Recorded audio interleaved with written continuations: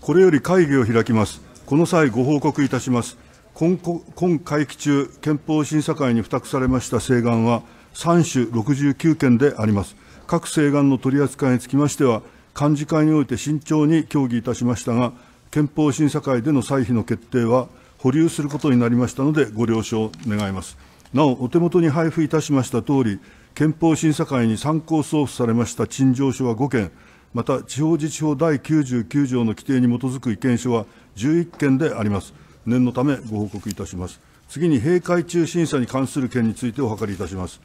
え、第208回国会、相沢一郎君ほか3名提出、日本国憲法の改正手続きに関する法律の一部を改正する法律案につきまして、議長に対し、閉会中審査